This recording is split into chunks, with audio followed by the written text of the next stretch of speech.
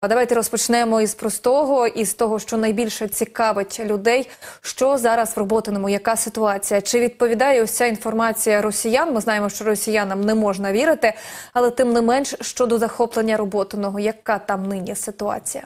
В Роботино немає живого місця, купа будівельного сміття. В ході боїв знищено будь-які будівлі, будь-які стіни від цих будівель, які дозволяли хоча б тимчасово там ховатися. Роботяному купа трупів російських штурмовичків, паленої техніки. Зараз це фактично суцільна сіра зона, яку ворог намагається перетворити на чорну діру, навалюючи туди артилерію, але в цій чорній дірі зникає, зникають його дрони, які збиваються нашими побратимами, і зникають його штурмовики, які там згинуть. е, гинуть. Але станом на сьогодні, от на 15-ту годину, трохи ворог пригальмував свої піхотні атаки, але це ні про що не говорить. Вони просто зараз зализують рани, е, очухуються, тому що нахапали тут добряче від наших побратимів. Е, і, Відповідно, ворог зараз там проводить певні ротації особового складу, проводить злагодження на полігонах. Вони е, тренують своїх штурмовиків. І відповідно там чекають вони поповнення. Ну і відповідно надалі вони планують проводити атакувальні дії, але бачимо результати всіх їхніх атак. Якби не вдається їм просунутися і захопити, скажімо так, відвоювати ті території, які вони втратили під час наступально-визвольних операцій українських сил безпеки і оборони. І зараз вони е, при е, мінімальній активності піхотних атак е, роблять акцент на артилерію, на розвідку. Зокрема, те, що ми зафіксували, і вже чітко підтверджено, що тут працюють мінімум два російських розвідувальних батальйони. Е, Ну я маю на увазі на тих позицій проти тих позицій, де стоять свободівці, бо в мене немає загальної картини по Запорізькій області. Розвідку вони ведуть цілодобово, арта працює цілодобово, але і з нашого боку так само зараз акцент робиться на дальнобойну артилерію. Там росіянам непогано прилітало і по позиціях їхніх. Знаємо, є що і знищена техніка російська, і в принципі по їхнім тилам там прилітала непогано. Там бавовна на цьому тижні. Бавовна завітала в декілька населених пунктів, які тимчасово окуповані російськими військовими. Як гадаєте, загалом росіяни були готові, що ось так швидко забавовніє? Чи вони очікували, можливо, що західне озброєння буде довше їхати, і відчу- почували себе такими більш розкутими, готовішими виснажувати українських бійців? Ну, якщо чесно, то вони трохи як кажуть народі булки розслабили, тому що вони у них були успіхи, вони точково вибивали наші установки артилерійські, будемо казати об'єктивно. І у них були великі сподівання на те, що західна зброя і е, снаряди до неї буде дуже довго їхати до України. Ну і в принципі це їх застало зненацька. Судячи з того, що якби там прилітало в деякі населені пункти в місця скупчення їхньої техніки і розташування особового складу. Вони цього не очікували. Але нас- знову ж таки, це зараз дало результат. Це не говорить про те, що і надалі це буде давати результат. Росіяни швидко прилаштовуються до е, зміни ходу бойових дій. І щодо мобілізації в Росії, хотіла зупинитися на цій ще темі. Е, З'являлася інформація, що в Росії знову можуть оголосити часткову мобілізацію, і може це статися до кінця 24-го року, початок 25-го. Е, Без нової хвилі мобілізації, як гадаєте, як оцінюєте ресурсність росіян? Чи здатні вони просто утримувати ці позиції, які нині зайняті? Чи перейдуть вони швидше в оборону, чи буде все-таки ще спроба наступу? Як гадаєте? Я єдине хотів тільки додати, трошки розширити сказане вами для об'єктивності. Оборонні операції бої в Запорізькій області ведуть не тільки збройні сили, це і Нацгвардія, і прикордонники, і сили спеціальних операцій, добровольчі формування. Я закликаю всіх бути об'єктивними при всій повазі до пацанів із ЗСУ. Тут багато підрозділів веде бойові дії. Стосовно мобілізації живого нового живого м'яса. Росіян. Вони зараз у них же мобілізація не припиняється. Вона просто так в такому пригальмованому, трохи замедленому темпі йде. Е, Сюди на запорізький напрямок періодично заїжджають нові партії свіжо ви- відмобілізованих росіян. Крім того, у нас же тут стоять ну вже правда більше року стоять е, е, полки, які були сформовані саме чисто з мобілізованих новостворені мотострілецькі полки 1429, 1430. е, Інші тут стояли, які зараз перекинули на Донецький напрямок. Але це вже це вже не ті безпорадні чмоні, кое-як е, екіпіровані, які раніше були. Вони зараз проходять і тактичну і медичну підготовку. У них є підрозділи по безпілотникам, е, якби плюс з ними працюють інструктора, які вже які вже е, Росія прогнала через е, оцю повномасштабну війну проти України. Я в вашому ефірі казав, що тут на запорізькому напрямку ми фіксували, що із е, е, свіжоприбулими мобіками працюють зокрема інструктора, які до того були в Вагнері, до того яких там чи розігнали, чи ліквідували. Там ну чорт ногу словить, не зрозумієш. Тому відповідно ворог серйозний. Він готується. Плюс вони в технічному плані дуже великий е, крок зробили. Вони по безпілотниках значно розширили лінійку їхніх типів видів. Вони прилаштовуються для боїв е, вночі. Відповідно, нам теж треба дуже серйозно готуватися до цього. Ну звісно, ми готуємося, і е, на жаль, іноді ця підготовка і висновки, і нові ходи вони даються ціною. Е, Втрати побратимів наших і здоров'я їхнього, і втрати техніки, але ну це війна без е, втрати е, тут не буває. Тому я особисто і ми побратими ми дуже серйозно ставимося до цих от планів там і ходу російської мобілізації. Ви сказали про новосформовані полки, що вони зараз мають кращу підготовку. А щодо е, вікової категорії, бо вже з'являлася інформація про те, що е, до росіян мобілізацію забирають навіть 18-річних, тобто відправляють воювати. Та ну там грібуть всіх подряд, це зрозуміло. Е, Щодо тут тих, як ми бачимо, ну зазвичай це 40 Є, звичайно, і 50-річні, є різного віку. Ну, зазвичай це е, 40 плюс, або там, ну, може, трошки менше. Ну, основний костяк це такі, да, вже люди, так би мовити, середнього віку. А щодо мотивації, як у них із цим? Ну, мотивація росіян, я казав, що у них широка лінійка безпілотників, так і у них є широка лінійка засобів мотивації, методів. Гроші є люди, які просто там ну прибабахнуті на темі російського імперіалізму, руського міра. Є, звісно, там і загратотряди, ніхто цього не скасовував. Ну я образно кажу, що ті, ті люди, які стоять за спиною цих е, штурмовиків, е, плюс е, у них іде серйозна оця інформаційно-ідеологічна накачка. Періодично приїжджають сюди різні больші начальники з російського міністерства оборони. Ну до речі, от рані, якщо раніше ми фіксували, що ті ж самі нагороди тут російським окупантам, які стоять на запорізькому напрямку, нагороди привозили там е, мінімум заступник міністра оборони, то зараз там присилають начальника якогось там головного управління чи департаменту, тобто трошки подрібнішили в цьому плані. Ну і плюс. е, е, Інформаційна накачка йде. Ми навіть от наші хлопці двічі е, е, бачили, скажімо так, ну при загиблих е, російських штурмовиках були їхні мобільні телефони. Туди е, заходиш, до речі, без пароля. Ну це таке, якби це.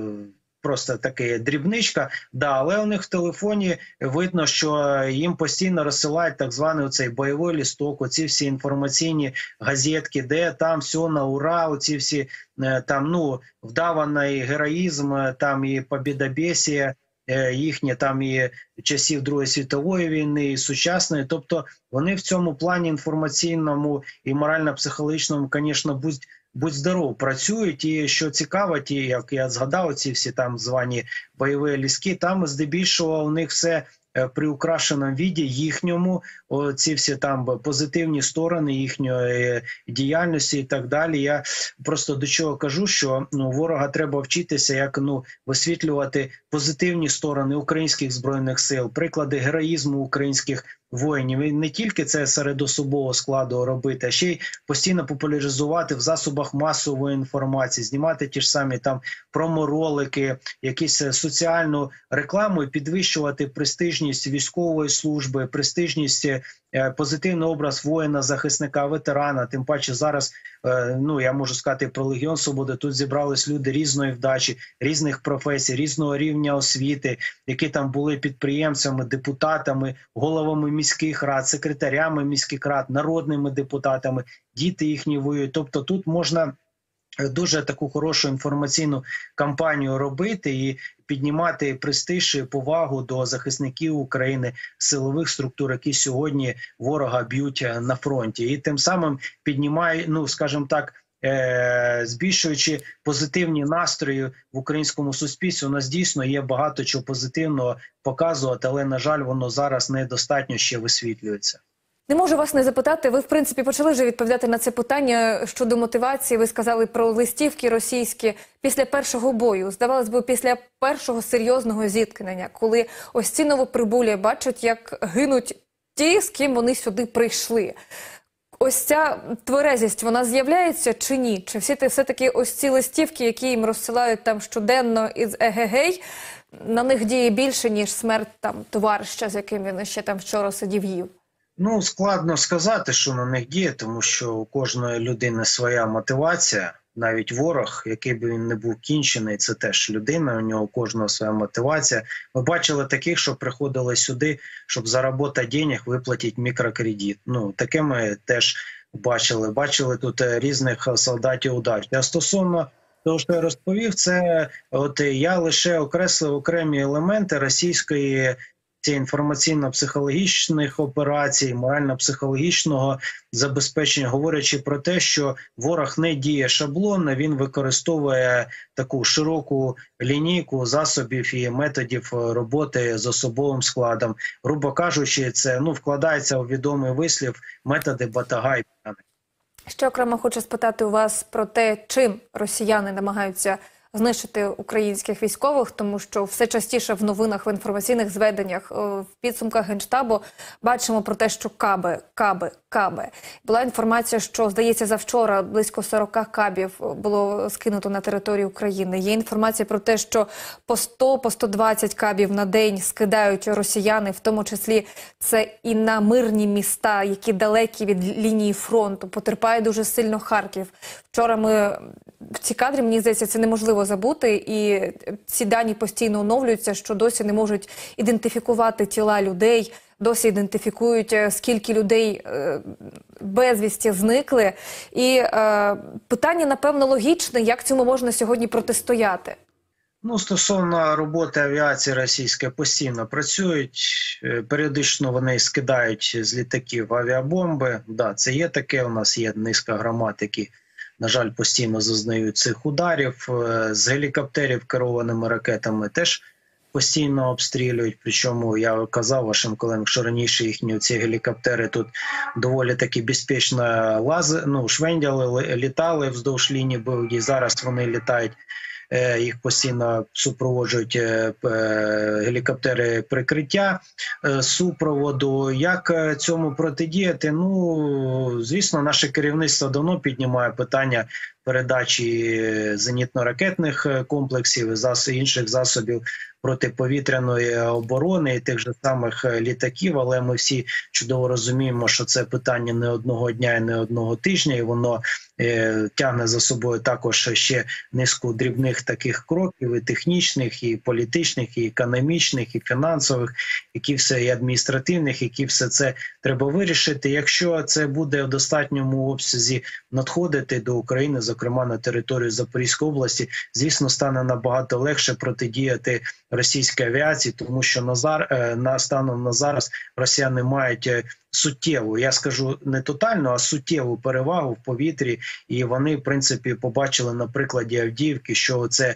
скидання кабів, фабів дає свій результат. Відповідно, вони далі продовжують це все.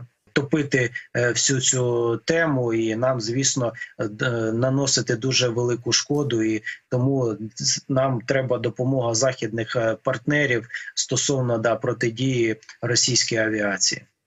Як ви гадаєте, ось ця ситуація вчора з Харковом, Це їхня стратегія, тактика. Е, Зрозуміла, що вони нічого не роблять фактично просто так. Е, Це спроба примусити Україну до переговорів, це спроба посіяти паніку. Чи це е, сценарій, коли вони хочуть, щоб місто мільйонних Харків почали виселяти людей в інші регіони для того, аби ось це відчуття хаосу зростало. До яких сценаріїв Кремль хоче вдаватись? Ну, сценарій Кремля один це знищення України. Вони цього не приховують. Бо я нагадаю вам, що у нас іде 400-літня е, війна російсько-українська. Росія вже неодноразово йшла на нас війною. А зараз ми, я думаю, ми щиро сподіваємося на те, що зараз іде остання вже остання російсько-українська війна, і наші діти вже не будуть вести національно-визвольних війн. Стосовно Харкову. Я думаю, що по-перше, так як Путін кінчений, він не може пробачити, що саме в Харкові футбольні фанати заспівали відомий на весь е, світ е, хіт, е, суперхіт, мегашлягер такий проти Путіна. Ну ми його не будемо в прямому ефірі Мені здається, цей шлягер знають всі, то правда. Можемо можем не співати, кожен про себе згадав. Так. Путін реально це коробить, тому він віддає наказ проводити такі нищівні бомбардування. Це раз. Е, По-друге, вони ж там е, марять якоюсь е, чи то санітарною, чи ще якоюсь зоною. Сіра зона, сіра зона вони це називають. Так. По-третє, вони все-таки не полишають планів якомога більше захапати е, території. Ну і також вони можуть е, зривати просто свою злість на мирних містах. Ми ж бачимо, що неодноразово, так само як і в Запорізькій області, якщо їм не вдається досягти військових е, результатів в чеснім бою, як то кажуть, там на вулиці раз на раз, да, то вони починають зривати злость на мирних жителях. Але харків'янам можу побажати лише триматися. Запоріжці з ними. Ми така також е, ви знаєте, що Запоріжжя декілька разів піддавалося ракетним атакам. На жаль, гинули мирні жителі, руйнувалися цивільні будинки, але одразу йшло реагування. Людям допомагали із е, місцем е, проживання, із виплатами, з гуманітарною допомогою. Тут, звісно, відпрацювали на всі 100. Молодці можна тільки подякувати соціальним працівникам, які одразу підхоплювали запорожцям, допомагали це все оформлювати. Я від своїх е, знайомих ніколи не чув поганих слів щодо цього. Е, Ну і звісно, знову ж таки, повертаючись до Харкова і до тих авіаційних атак на нього, треба треба допомога західних партнерів протиповітряній, протиракетній обороні. Але ми бачимо, що наші і спеціальні служби, і сили безпеки і оборони періодично вчиняють атаки на аеродроми, вибивають пускові установки С-300, наносять удари там по логістичним шляхам. Ми бачимо, що е, українське військово-політичне керівництво здійснює по максимуму е, всі заходи для того, щоб е, збити оцей російський ракетний та авіаційний терор. На сценарії заморозки війни час від часу натякають західні партнери. Чули ми від Макрона про олімпійське перемир'я е, і від інших західних лідерів теж е, в різних конфігураціях і формулюваннях це звучало. Як ви оцінюєте такий сценарій і його наслідки? Легіон Свободи готовий лише до одного сценарію: повна капітуляція Росії, розвал Росії, і перемога української держави. Хай так і буде. Хай почують е, нас і західні країни, що українці цінують кожного свого бійця і кожен сантиметр своєї землі.